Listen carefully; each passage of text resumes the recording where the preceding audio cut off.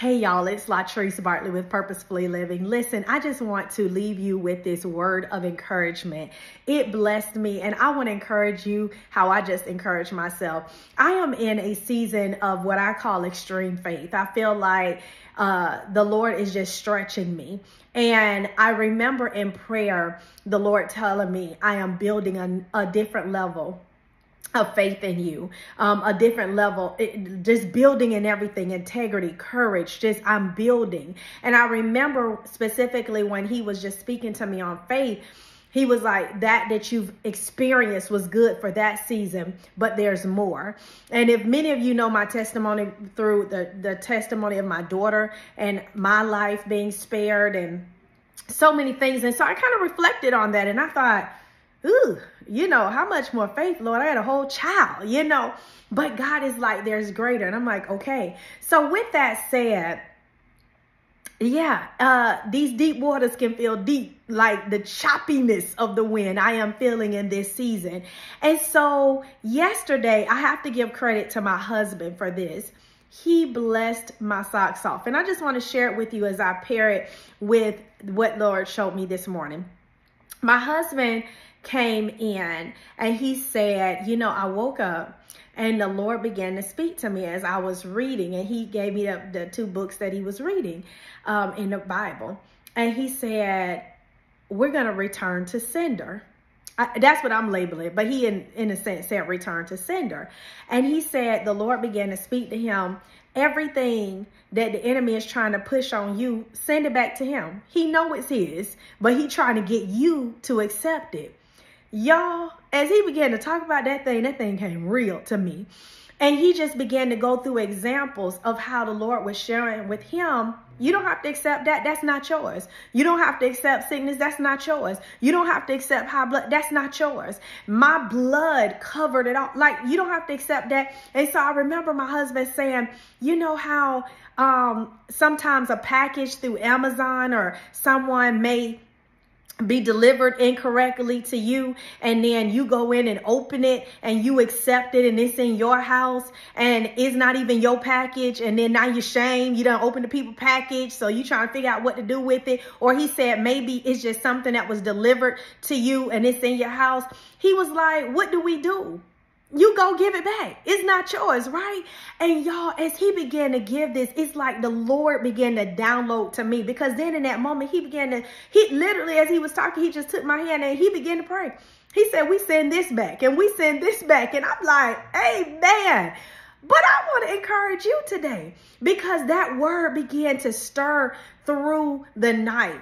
And specifically, I was reminded of the authority and the power that we have in Christ. Yes, we have power. And in case you forgot it, the enemy has power. It may be limited, it may be, but we have to be reminded he has power. But we have authority in Christ that he does not have. And so as he was saying that, I began to think about the authority that we have, that we don't have to accept. We can return to sender. I choose not to participate. No, I'm not going to murmur and complain. I will not, you will not try to have me forfeit my blessing. No, because he cannot take it from us. But if he can get you to back away from what God has said, if he can get you to open up your mouth and speak um, contrary to the word of God, that's what he's going for. But you can return the sender. You can let him know, uh-uh. And think about it. I, I told my husband, I thought about even when you're in the store, you know those people try to come up or in the mall on you and they trying to give you the perfume or give you the, you know, and what we say, oh, no, thank you. And we keep going and they know they still talking, no, thank you. Or if somebody come to your door trying to tell them, no, no, thank you. You know, you, we don't even accept it, right? It's like, no, I don't want it. That's okay. Well, why we accept the mess from the enemy? Come on, let's return to sender. That word blessed me when my husband and this morning shared that with me. I was thinking about it and something that we had been praying about with my health. And I shared with him this morning. I said, babe, I kid you not. In the middle of the night, I could feel like it's starting to happen and what you said came to mind and y'all in my sleep I like I was asleep but I was not asleep if you know what I'm talking about but I remember saying uh-uh uh-uh like like in my mind I was like I don't have to accept that and that quick it left. Y'all, the authority that we have, we have to be reminded. Sometimes we forget and we just lay it down. No, who are you? In Christ. Come on. We don't have to accept. Yes, suffering. We're going to go through some things. That does not mean that obstacles are not going to happen. That does not mean that we will not have trouble, fiery darts. We will not go through life y'all. But even with as we're going through we have a promise. God's word his promises are armor and protection. Even if as we're going through things we're not going through it alone. He is with us. He will never leave us nor abandon us. And so i just want to encourage you return to sender. And then as that happened this morning i had something that just I mean, I'm just being honest. Like, listen, these faith streets, I just happened. And the thing was causing like immediately almost like wanted to bring on a panic attack, like worry. And I remember immediately getting up and I went and just sat and I got in my word. I was getting ready to read Proverbs. And then it was like the Lord just said, Mm -mm, be still, be still. And so as I began to be still, I was just listening to some worship music and I just sat there. And then before I know it, I began to praise. I began to lift my hands and I just said, God, what the situation was, I spoke the opposite. I said, Lord, I thank you. God, I began to praise you. I like, because in his presence, what you're dealing with becomes minor. He is, he is magnified. That situation is like microscopic. When we begin to open up our mouth and worship and praise him, it shifts the atmosphere. And I began to thank him. And I began to, I, it didn't mean I had to lie. I told him how I really felt. I said, Lord, this is a situation, but then this is what your word says. And you are not the son of man that you would lie. You're not a God that would change your mind. You like, I began to speak the word of God. So y'all, let me tell you something. As I sat there in his presence, all of a sudden I heard Psalms 37, 7 through 8. AMP. And I want to encourage you with this as I end. And it says, be still and rest. Hear me and rest in the Lord. Wait for him and patiently lean yourself upon him. Now, because I'm amplified, y'all know I'm going to break this down, right? Okay, let me do it for you. Let me say it one more time. Psalms 37, 7 through 8. Be still and rest in the Lord. Wait for him and patiently lean yourself upon him. Be still. When I looked up still, I know you probably like La'Trece, I know what still mean. Uh-uh. It said calm. A lot of times we think still, yes, it does mean like no movement, but it also means deep silence, calm. Then wait.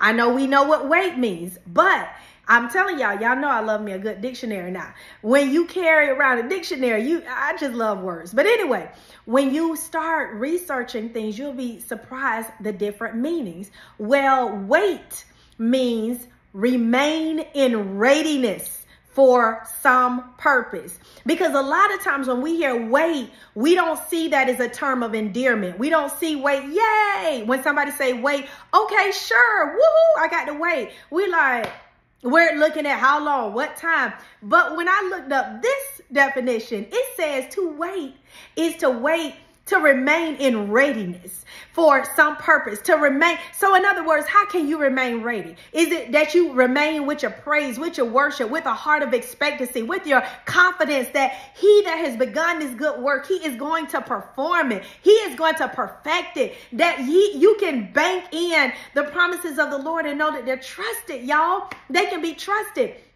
So, we wait in readiness. Like like what he said he gonna do. Go ahead and act like it. That's what faith is. Come on, act like it. Go ahead because what he said is going to come to pass. Then patiently. I love this. So patience, I rem- I remember in a season I learned this definition, but today is different. Patience goes beyond um, withstanding or bearing affliction. Normally, it's withstanding um, trials or uncomfortable situations, bearing up under affliction without complaining or murmuring. But I like that this definition said when you're talking about patience, it's standing fast under pressure with a staying power that turns adversities into opportunities. Let me say that again. Patience is standing fast under pressure with a staying power that turns adversities into opportunities. So when we are patiently waiting, it does not mean that things are not coming in on us. It does not mean that we are not feeling pressure. It does not mean that we're not going through obstacles. But you in Christ, we can stand fast under that pressure and then the power, the resurrecting power that is in us that same power that raised Jesus from the dead is in us. That power allows us to turn the adversity into an opportunity. Y'all, that scripture blessed me. So I want to encourage you today be still. Come on, be calm. Be calm. Sometimes you don't even need a response. Like what happened to me this morning, it was like the Lord said, Mm-mm, be, be quiet. Be still. Be calm and rest in the Lord. Wait for him. Come on, with remain ready, knowing that what he said he's going to do, and patiently stand fast. Come on, let's gird up, hold your posture, you know, get it right in the spirit and lean yourself upon him. Now, lean, I love, it's just simply to rest against something. When we lean something on it, we rested against it. He said, Come on, lean on me, rest on me. He's not going to give away. We all know, everybody's probably tried that uh, game where you have your friend or someone and you say, all right, you lean back and they say, do you trust them to fall back? And it really do depend on who back there because you like, don't play with me today. If I hit this flow when I get up, right, it's going to be a problem. But come on, we can lean. We can rest, lean on our Savior. He will not fail us. He will not drop us. He has you in the palm of his hand. His banner over us is love. Y'all, that thing blessed me. And so as I was just meditating on that, immediately I thought about rest, right? Because in that scripture, it reminds us be still and rest in the Lord. And guess who is our perfect example about everything? Jesus. Jesus is our perfect example. And so when we think about rest, the first thing as I was sitting there that the Holy Spirit brought back to my memory was Mark 4. 38 through 40. And I'm going to read it to you. This is what it says. But he was in the stern, asleep on a pillow. This is Jesus. And they awoke him, the disciples, and said to him, Teacher, do you not care that we are perishing? Then he arose and rebuked the wind and said to the sea, Peace be still. And the wind ceased and there was a great calm. But he said to them, Why are you so fearful? How is it that you have no faith? Now they're in a boat. They go into the other side. There's a storm. Jesus is asleep on a pillow.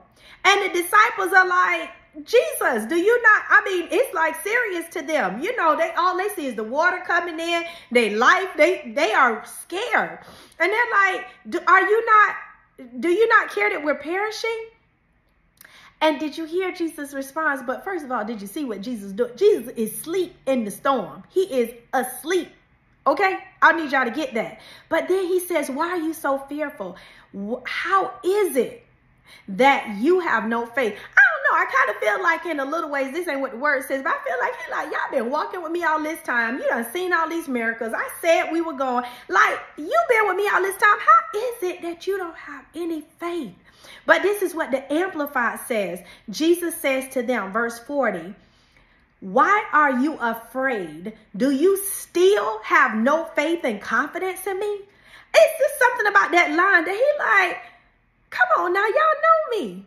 I need someone today to know that Jesus is saying, I am interceding on your behalf. Come on.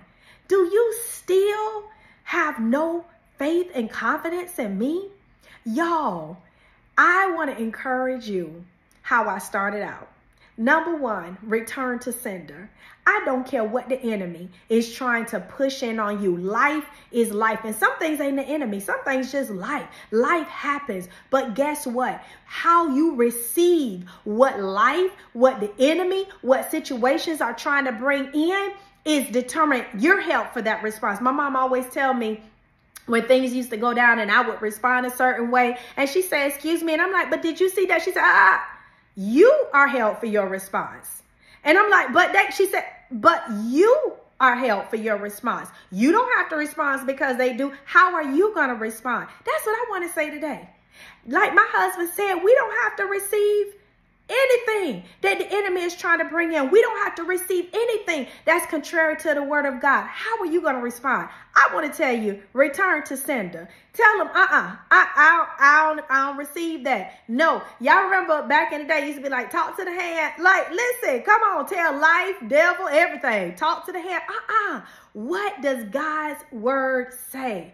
And then after you do that, go ahead and do what Psalms 37, 7 through 8 be still and rest in the Lord. Wait for him and patiently lean yourself upon him. Rest on him. Listen, go ahead and go to sleep. Y'all, do you know that the highest form of faith is rest? Think about that. Though faith, yes, is action, right? But sometimes it's to not do something. When situations are crowding in and and and life want a response, but yet you still. Why you still? Because your trust is in the Lord. Come on. And so you begin to just get a posture to say, uh-uh, I will not I will not bow. I will not break. I will not. The righteous are bold as a lion. Uh-uh, I'm going to stand firm on the confidence of God. I'm going to stand firm on the word of God. I'm going to walk in the God confidence. Come on, y'all. Square your shoulders back. We are going through life. And those of us who are serious about following Jesus, suffering is required. We're going to go through obstacles. We're going to go through trials. And guess what? We need them because they are working for us. They are perfecting us. They are perfecting our faith. They are um, building endurance in us. And we already know that it is through faith and patience that we inherit the promises of God. So you know how you going to develop patience. Them trials, come on. It's a system. So we have to go ahead and count it all joy. But I want to tell you, when life get life, like it was for me this morning, go ahead. Go on to sleep. Go on to sleep. Now, don't that make the enemy mad? You get a phone call, things gonna happen, and you just say, let me set my time. I'm gonna take me a 30 minute nap. Take me an hour minute nap. You might not be can nap if you're at work. But you know, I'm just go go eat me some lunch. Go get me a smoothie. Go smile. It's like, wait, come on. He doesn't know how to handle that. He wanted a reaction, but remember what I said. Mm-mm, I choose not to participate. Return to sender. That that you're trying to send me, I will not be a part of. So that's all I wanted to say. Pray it encouraged you. Love you guys. Bye.